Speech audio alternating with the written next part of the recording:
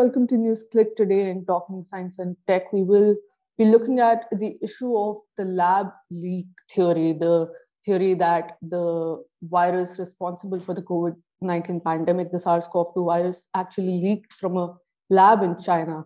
And we see again that this uh, issue, this theory is being pushed in the mainstream media as being uh, equally possible that as, as a theory that the virus naturally evolved. So we have with us Prabir Purkayastha to discuss the plausibility of these two scenarios and how possible are the two scenarios? Are the two scenarios equally possible or really how do you weigh them? So Prabir, can you tell us about this, this sort this, this, this narrative that is being pushed? Yeah, I don't I want to widen this framing of the issue that how do you actually evaluate different possibilities? When, for instance, you have a lab leak versus nature issue, where you have also, for instance, the UFO issue. Now, that's an interesting one because there is a re recent US uh, military report about detailed examination they have done UFOs visit uh, the world or not. And that has come out with a number of instances where they have no explanation, therefore appearing to say that UFOs could actually have come. Now, I take this also with the, uh, the US administration demand of Saddam Hussein that he showed us that he has no WMDs, but I'll postpone that for the time being. Let's look at alternative hypothesis when it is framed and how do we normally evaluate it. See, if you ask people that you know there are two possibilities, immediately the brain receives it as if there are two equally probable hypothesis. So it doesn't appear that the possibilities could have completely different probabilities. And I think that's the key issue here. When you frame it that there are two hypotheses about the, how the uh, current coronavirus COVID-19 epidemic emerged, the understanding is if there are two hypotheses, then both should have equal probability to start. Now, the difference here is that we have had very small outbreaks from labs earlier of viruses which were being studied, and they have infected very few people.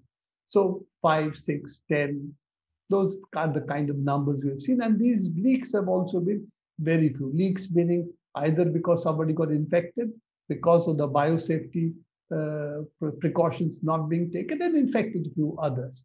So this is one class of thing against epidemics, which have repeatedly occurred in nature. We have hundreds of epidemics which have occurred. And in this century, of course, we have the SARS, MERS, uh, SARS-CoV-2, the viruses that have uh, all coronavirus. But we have also had the H5N1, H1N1 repeatedly being threatened. And some of them have actually occurred as epidemics. We have every year new flu viruses that emerge and we have number of millions of cases that takes place the world over. So we periodically see viruses emerge from nature. And why is it that the pathways of such emergence are enormous? Why? Because animals are much larger in number, as you know, than, for instance, laboratories, particularly biosafety laboratories where such research is conducted. So numbers of animals which carry different zoonotic diseases, as we call them, are enormous. They are very large. In China, they've, for instance, investigated 80,000 animals. But the point is, there's still a small drop in the ocean compared to the total number of animals that exist.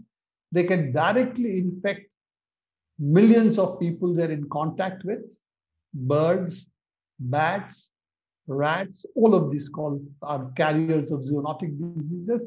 And of course, we know from the uh, uh, Ebola case, we don't know what the carrier is, but we know, for instance, in the AIDS epidemic, that the carrier was a chimpanzee.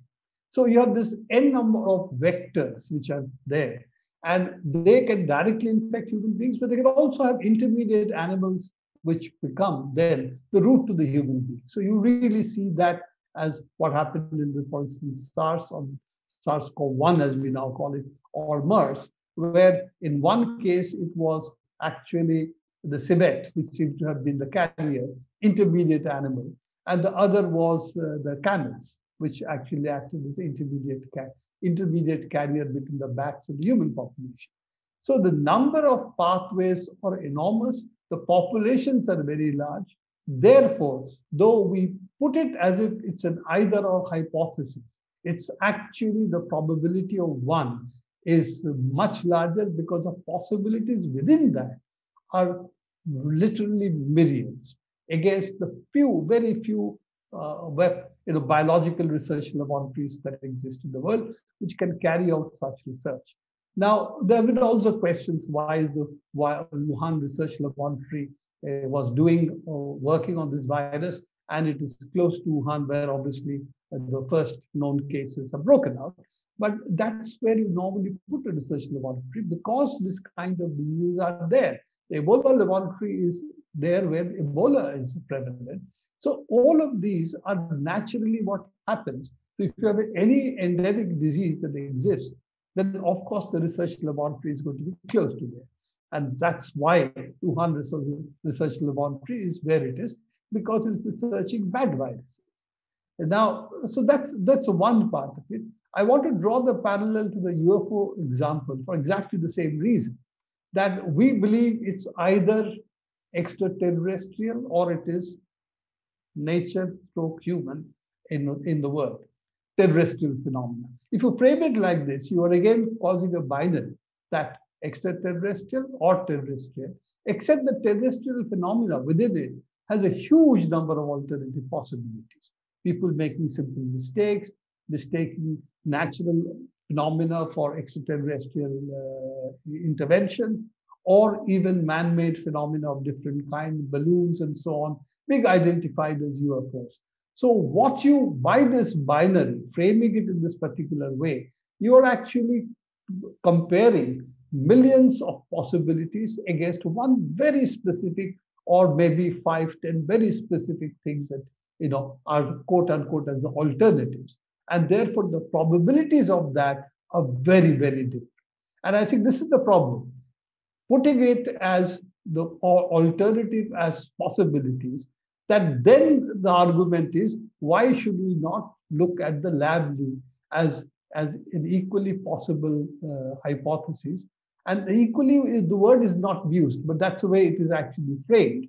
And saying we should then look at this as well and then, of course, you have the next is the conspiracy hypothesis of different kinds, where you put all kinds of correlations and claim that this is why it must have happened in the way they presume the lab leak occurred. But I would like, as I said, to go back to the UFO case. What does the UFO case show? There are literally number of such instances where they could not identify the possible cause. So therefore, they have said we can't prove it is not extraterrestrial. And I think this is the problem that we now have. It has been basically also come in public domain through all the newspapers. UFOs could actually exist. That American uh, investigations show that yes, hmm. there are possibilities of UFO. So I think this is the whole problem that because you could not identify it for what it was from this grainy old camera photos which were there at that point of time, to extrapolate that we can't understand it and therefore it must be extraterrestrial is equivalent to saying that because we haven't found an animal which infected us, therefore it could be, it's a lab. I think both are the equal, equal possibility arguments that are being presented as equal probability arguments. I think this is where the fundamental problem in science lies, that we cannot disprove something that easily. That to disprove something is almost an impossibility. And because there are so many ways that it could happen, and we as human beings have not explored all the possibilities at any point of time. That's why we get the problem of trying to find something which does not exist and proving that it does not exist. So, right, Prabir, uh, talk about disproving, and we also can look at the example of uh, WMDs in Iraq and Saddam Hussein being asked to prove that he does not have those weapons or the Wuhan lab being asked to prove that they, in fact, that the, that the virus did not leak from there. So then in such scenarios also, then how do they go about proving this, you know, that that this negative, uh, the, the basically it's a negative that this did not happen. Yeah, proving the negative is impossible. Essentially, logically, to show something did not happen is, is, is almost an impossible task unless you know there is there is a murder which has taken place at a particular point of time and you have an alibi. Now, unfortunately, those are not the examples we are talking about. Saddam Hussein's case is very interesting because if, the, if you looked at the American television coverage at that point or all the media articles that were coming, the argument was a very simple one that Saddam Hussein has weapons of mass destruction. To show his good faith, all he has to show is disclose and destroy. If he does not, if he doesn't disclose them, it's proof that he has weapons of mass destruction, which is not disclosed. So it started by saying that weapons of mass destruction exist in Iraq. Saddam has it. So the only way he can show that he doesn't have it is to give it to us, show it to us, and then we will destroy it. But the point is, even if he did that, assuming, for example, he had a few tucked away, the point is that how does he prove he doesn't have more? So this is where the issue really lay over there, that they had allowed weapons inspector to go anywhere and everywhere the military intelligence agencies which were there, part of those inspections that had mapped out uh, Iraq's everything very thoroughly. And therefore, it was very useful to the Iraq invasion later and the bombings. But Saddam trying to prove a negative was never wrong. And we remember the two proofs that the United States presented. One was the yellow cakes, which was the case which was from Niger, which was disproved by actually their own internal uh, US staff who said this is bogus. And that created a lot of problems later on for one of the persons who was a partner of a CIA agent who was actually exposed by the Bush administration, trying to darken his name and the claim that the, where, where this yellow cakes from Niger were really not uh, being imported by Saddam Hussein. And we have the famous example of uh, US Secretary of State, US Secretary of State Colin Powell, presenting as a biological weapon something which was essentially a moving, uh, mobile van for purposes of purely collecting samples and so on. So providing these kind of evidence was what led to the Iraq War.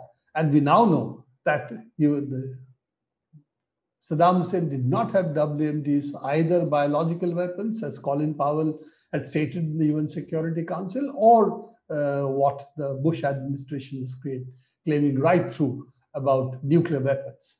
And this is what the UK Uh, also completely backed with supposedly their inputs. So proving the negative wasn't possible. And as we said, even giving all access did not help Saddam Hussein. Now, what in this particular case, Shi Zhengli, the Chinese expert on coronaviruses, particularly bat coronaviruses, who had really roamed in all places where bats are there, trying to study possible infections that they may carry to humans, the zoonotic diseases, who's really played a stellar role, including in Ebola uh, trying to find vaccines for Ebola and so on. So this she has said in one interview, uh, I think with New York Times, she says, "I'm being asked to prove the that something did not happen. How do I prove something did not happen? How do I prove a negative?" So this was her position as well. That's how do I prove that something did not happen when it didn't happen? And we have Danielle Anderson, who was the last researcher in the Wuhan laboratory, foreign researcher, who was there at this particular time, or at least in contact with people at this particular time. She was there just before I think the actually pandemic broke out. And she says that in this whole period, she was very familiar with the work being done in the lab, the kind of protocols it's followed, that an accidental break, lab break of a virus was almost impossible. And she doesn't, she said there is no evidence that there were people who were infected and it leaked out. So this, uh, this was a lab which had BSL 4 standards, which are very high standards. And she herself says that the kind of standard that were followed were actually better than in most other similar uh, laboratories. And she instituted some of those practices in the Singapore laboratory that she works in. She is an Australian origin uh, scientist who also works in Singapore. So we have other evidence that we that are there that this is not something which should have happened, apart from numerous scientists saying that, look, looking at the possibilities, that this seems to be a very weak hypothesis, if at all possible. And this is what the WHO report actually says. Of course, given the politicization of the issue, this has led to a huge uh, demand that uh, this should be treated on par with this.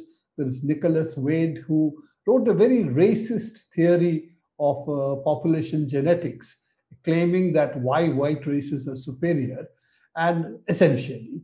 And this is something which he did exactly the way he has done here, that he took all evidences from whatever sources he could find, filtered out only little bits and pieces, strung it together to say that this is the hypothesis science backs. And it's only political correctness that people are scientists are not saying this. He has done the essential hatchet job here. Before that, it wasn't something which was in popular domain very strongly. But Nicholas Wade, having originally been a correspondent in uh, science correspondent of Times, New York Times, and he had some credibility before this book that he published about 10 years back, which destroyed his credibility about being neutral about science or being an actually a good science journalist. So he has come back with this lab leak hypothesis, and well, he's come back into a fair amount of credibility because people are not talking about what he had done earlier, which is very similar. People are treating him as a science correspondent, science journalist, and how good his science could be. And that, of course, covers up for the uh, fact that he's now become the standard torchbearer of the anti-China and anti-Wuhan lab uh, case. Right. And finally, Prabir, can tell us, you know, how does even one does even, you know, go about evaluating this? I mean, there must be some sort of way to evaluate, uh, say, the existence of biological weapons. I mean, Saddam Hussein, for example, did open up the, uh, did, did give access for for the search to be conducted for any possible existence of weapons but so is there even if that didn't help him but uh, is there no such possibility here of any sort of evaluation being done to to to find out that if such a thing could have happened? You know the, what you're asking is do we have protocols for the research laboratories which deal with biological uh, research of this kind whether there should be there are protocols to see that these there are transparency, there is transparency, and there is sharing of information or what kind of research that is being done. This was something the Biological Weapons Convention had proposed. This is something which is discussed. The Chemical Weapons Convention had also proposed uh, inspections, transparency, all of these. While in the chemical weapons, there was opposition from the United States as well as the uh, essentially by the chemical manufacturing companies, that their intellectual property could be in public domain as a consequence, and they could be easily monitored, found out, and copied.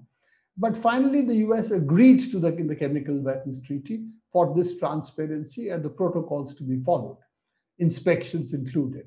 But in the case of biological weapons in 2001, uh, they withdrew from the agreement they said, we will not allow inspections, we will not allow any transparency or what we are doing in our research laboratories, biological uh, research laboratories. We're not going to call them weapons research laboratories, but biological research laboratories. Now, why did the withdraw is a separate question which we can discuss another time. But what is important to note, it happened in the Bush administration and John Bolton, who has been the key figure in withdrawal of United States from various weapons treaties, he was the key person here too, who said that the US should not do this and withdrew from the treaty. Now that had actually proposals of transparency and inspections, maintaining certain uh, information. If all of that had been done, the Wuhan issue would have been over because all the issues they're raising, they would have been following a common protocol, which would have been common to all research laboratories of similar kinds. Here it's an interesting issue.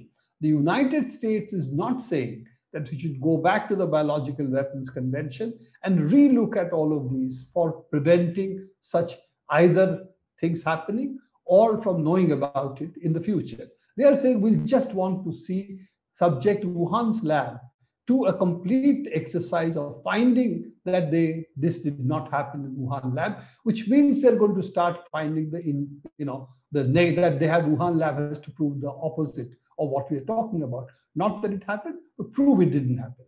So that's of course the negative argument. But the interesting part is that the United States, even today, it's not just Bush administration, even under the Obama administration, did not go back to this. Now, it's an interesting question why the United States refused or refuses, even today, to go back to the Biological Weapons Convention and say, in light of all these problems we now have, we should really have a, you know, a protocol to see that we know what each other is doing. The United States claimed that we're withdrawing from it because it's not verifiable, that if there's a weapon, we can't verify it. But the purpose of this was never about verifiability, it was about transparency. And the protocol did not go into the verifiability that you don't have new biological weapons, but the processes in the lab should be transparent. And that is something that they could have easily agreed upon, which they did in the chemical weapons case, but they did not do it in the case of biological weapons. Now, why they did not do so, the various issues. But let's also face facts that after the Second World War, the Japanese group which practiced biological weapons use and biological weapons research on a number of prisoners, including American prisoners. They were given total indemnity from uh, war crimes. And then based on the fact that they turned over all the research to the United States. There was a war crimes tribunal in Korea and where there was an international body which actually looked into the issue and said what Japanese research had happened. That was used by the United States against North Korea at that point of time in that in the Korean War. There, there are known examples of what they had done. So the US not giving access, this, this issue about their uh, getting all the information from the Japanese uh, war criminals who had practiced biological weapons on in prisoners of war including, as I said, the American prisoner of war, is now public domain. It's not secret anymore. It has come in public domain. It's been released as a part of what the archives release regularly.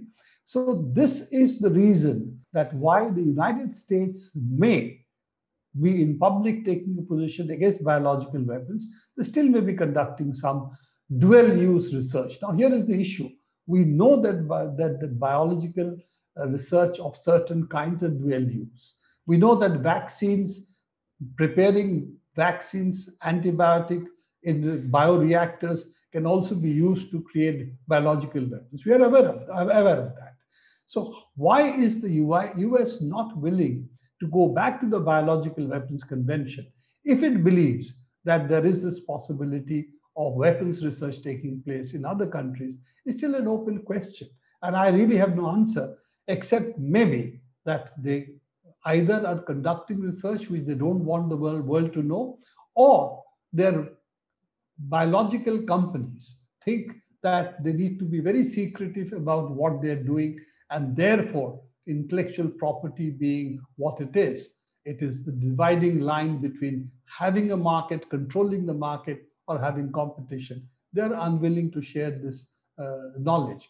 The consequence is that the world then always will wonder whenever there is a new pandemic, the world will always have this question. And the US, having raised it once, will also face similar questions if a pandemic breaks out now in the United States. That people will say it happened because of your research that you are carrying out there. Already, Fort Detrick has been under scanner for some of these issues. So, this unfortunately goes only into creating more and more conspiracy theories and unfortunately, now we see the United States joining full, uh, full-throatedly into a, a conspiracy theory, which earlier was restricted to a very fringe groups, then to very fringe groups in the world. Right. Right. So thank you, Prabir, for joining us today for this discussion. And that's all the time we have. Keep watching NewsClick.